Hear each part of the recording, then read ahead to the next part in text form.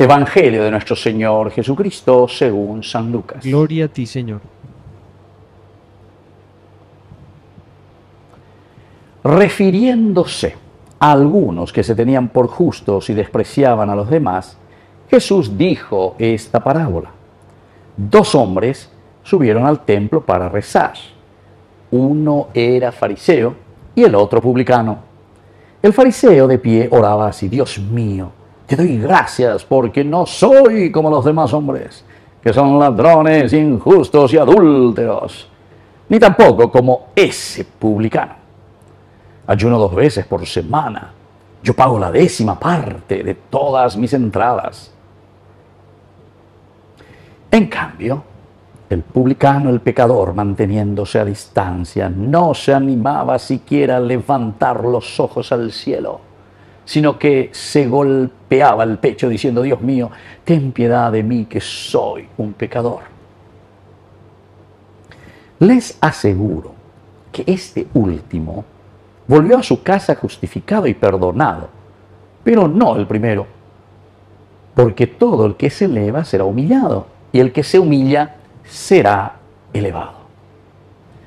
Palabra del Señor. Gloria a ti, Señor Jesús. Queridos hermanos, qué hermosa, qué hermosa esta lectura del día de hoy. Estamos con San Lucas, capítulo 18, 9 al 14. Esta es una lectura que nos anima a nosotros a mirar ante Dios, a levantar los ojos ante Dios y decir en qué condición nos encontramos. Son dos figuras, dos figuras clásicas, dos figuras que el Evangelio nos propone aquí, nos dice el fariseo, el autosuficiente. Vea el autosuficiente más o menos como decir Nicotemi de Yara, porque se allá popamos se allá popamos se ahí por ahí de Yara. Entonces la Andere hace se Nicotemi hoy, porque se allá poponan hoy. Entonces él dice, Dios mío, te doy gracias porque no soy como los demás hombres. Y bueno, puede ser. Hasta ahí te aplaudo, mi hijo, no hay problema. No soy como los demás hombres. Listo. Hoy un bebé. Muy bien. ¿Son ladrones? sí, sí. Vos puede ser que no toques nada, no seas ladrón, no seas corrupto, eh, muy bien, no sos ladrón. No soy injusto, también no soy injusto, muy bien, procura siempre la justicia, hacer, no hay problema. Y tampoco soy adúltero, y no, tampoco, o sea, sos una persona muy fiel, ¿verdad? Ahí en tu matrimonio, no sos adúltero. Ni tampoco como ese publicano. Eh, Pepe, stop, stop, stop. Pepe, Pepe, ya, repoema. Queridos hermanos, Aquí justamente es donde nosotros nos equivocamos normalmente. Porque puede ser que hagamos siempre nosotros un camino y eso está muy bien, así como dice este fariseo. Ya ya Bueno, pero aquí Jesús, el Señor, no admite esto. No soy como ese. Ahí está entonces nuestro error. El que jamás cometió un solo pecado, que tire la primera piedra. Que tire la primera piedra en Yana. Hobeago esa acá, de y de anilande arrogante, anilande orgulloso, anilarismo alaricua pajandente maoi lleva. Entonces la muñequita fina que está ahí entonces, no. Aquí el Señor te está diciendo, ¿sabes qué? Primero tenés que mirarte, tenés que mirarte. Y en todo caso, también puede ser que veamos y vemos luego los errores, ¿verdad? En tantos hermanos, y allá uno, allá por ahí, veanango y go guarema hobe anago ila ñande yarañe hobe anago la ñande no ñande a toña e ñande se ai pota ko ang vendere ñe punure ñamindu u. Reje sakwa lleva porque ente dere ñe venuta de hoy reya po lleva pendera pepe una eso quiere decir el cambio la metanoia cambio de mentalidad Queridos hermanos, esto es lo que el Señor nos está pidiendo y esto es lo que el Señor, de cierta manera, también nos está exigiendo. Porque Él entonces aquí se lanza contra el otro. Estos son, este es injusto, este es, no soy adulto como él, ni tampoco soy. Apea tu área, yo quiero y porque ayunan, da dos veces por semana.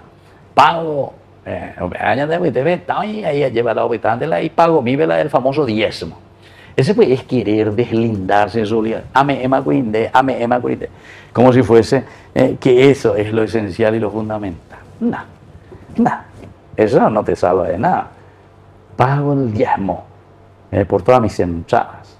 Bueno, esa es la primera presentación del fariseo.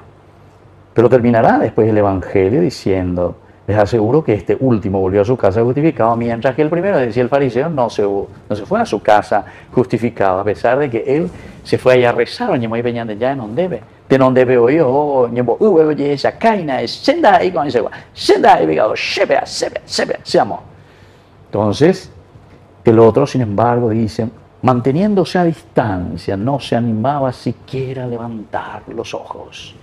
Porque oye, esa lo que el Señor quiere es justamente esto, queridos hermanos. Ya esa a mí, ya esa a mí.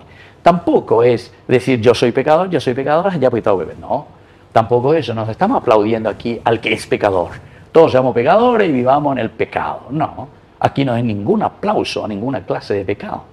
Sino que aquí lo que Jesús nos está enseñando a entender es que teniendo tantos pecados, siendo tan limitados, tengamos esta actitud ante Dios entonces de humildad, de reconocimiento de nuestras faltas y desde ahí entonces hacer este camino de salvación. Se golpeaba el pecho diciendo, Dios mío, ten piedad de mí que soy un pecador. Porque el ander y dice cuando que sos pecador, ah, entonces vas a decir, desde ahora Señor, voy a comenzar a hacer en esta cuaresma un nuevo camino, el camino de la salvación, de la conversión. Que así sea. Que así sea.